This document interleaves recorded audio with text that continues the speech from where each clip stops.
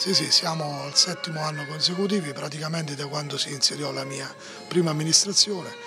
è un evento molto bello per tanti motivi, intanto perché sono tutti artisti del San Carlo, molto apprezzato lo spettacolo, l'esibizione, la chiesa in genere è sempre stracolma, sarà così anche questa sera. Sono anche sette anni che le sorelle che vivono in questo convento, le Clarisse dell'Immacolata, sono arrivate a Pieraverano, quindi c'è questa coincidenza favolosa che rende ancora più magica la serata e l'ambiente, siamo particolarmente contenti. Sono, se posso continuare per qualche secondo, particolarmente contento anche perché Pieraverano in questi anni vive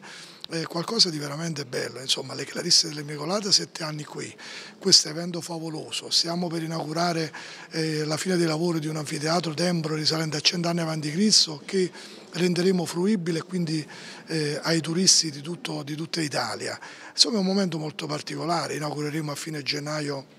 il consultorio è qui in piazza a pochi centinaia di metri da qui. È un momento favoloso e lo so che apparentemente non c'entra niente, ma secondo me tutti questi eventi sono sincronizzati l'uno dall'altro perché fa parte di un programma e di un progetto a medio e lungo termine che finalmente adesso sta dando i primi forti frutti. Siamo pronti, il 2016, dopo 4-5 anni di duro lavoro, sarà un anno molto particolare che come promissi 3 o 4 anni fa, grazie anche all'aiuto di tantissimi professionisti, adesso non ne cito nessuno per non dimenticare nessuno,